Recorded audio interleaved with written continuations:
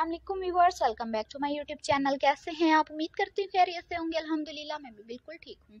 आज की वीडियो में मैं आपके लिए बहुत ही खूबसूरत, स्टाइलिश, उपटन और मेहंदी के, ज्वेलरी के सेट के डिज़ाइनिंग आइडियाज़ लेकर आई हूँ कि किस तरह से आप पहन सकते हैं। व्यूअर्स इस तरह की ज्वेलरी बहुत अच्छी लगती है। फ्लावर वाली आर्टिफिशियल फ्लावर बहुत प्यारे लगते हैं।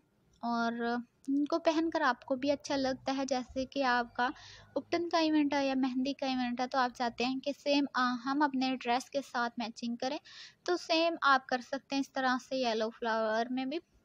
इस तरह से आर्टिफिशियल की भी अच्छी लगती है मार्केट से इजीली बाय कर सकती हैं। फिक्रमंद होने की ज़रूरत नहीं, आप अपनी रेंज के मुताबिक भी अवेलेबल कर सकती हैं।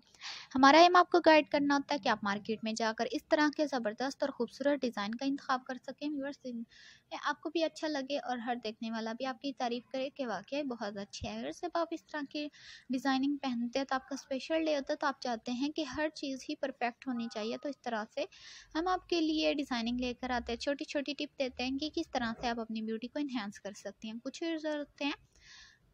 और वो चाहते हैं कि हम अपने सेम ड्रेस के साथ ही पहने, जैसे कि हमने ड्रेस पहना है, वैसे ही सेम कलर में होने चाहिए तो सेम कलर में भी आप कर सकते हैं। कलरफुल पहनना चाहें कलरफुल पहन सकते हैं। तो इस तरह की डिज़ाइनिंग फुल एयर रिंग बिंदिया वगैरह फुल पहन सकती हैं बैंगल्स वगैरह।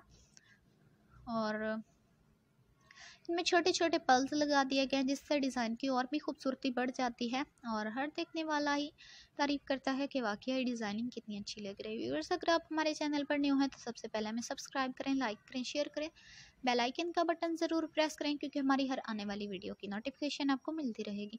अब तक के लिए अल्लाह हाफिज़। नेक्स्ट वीडियो के साथ, नेक्स्ट टॉपिक के साथ जल्द हाजिर होंगे। ढेर सारी दुआ में, ढेर सारी खुशियों में याद रखना। अल्लाह ताला आपको भी खुश रखे, लंबी उम्र दे। हमें भी इस काम में तरक्की दे, बरकत अता फरमाए। आमीन। और व्यवर्स कोई भी ऐसी वीडियो जो आपको अच्छी ना लगी हो तो आप हमें ज़रूर बताया करें ताकि नेक्स्ट वीडियो हम आपके लिए इस तरह की ना लेकर आएँ।